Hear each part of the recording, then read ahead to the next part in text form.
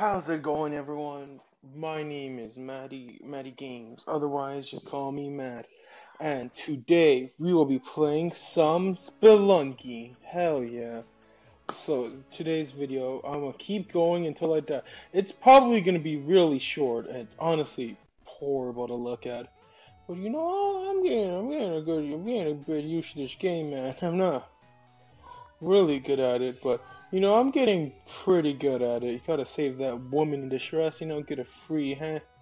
You know, some the highest one I've been to, the highest one I've gone to in Spelunky is um, the jungle, I think, if I'm correct. You know, it's yeah, the high, I think the highest one I've been to is jungle. You know, pretty good so far, making good some good progress. Progress.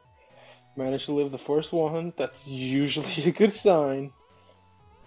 And you know, I I made a ah damn it, lost the health.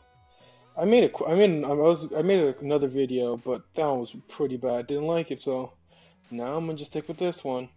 You know, it's going pretty good. Well, hopefully the audio's fine. If not, I'm gonna be depressed. And I got shot. Well, it looks like I, let, I'm gonna try and not try and bloof this one, guys.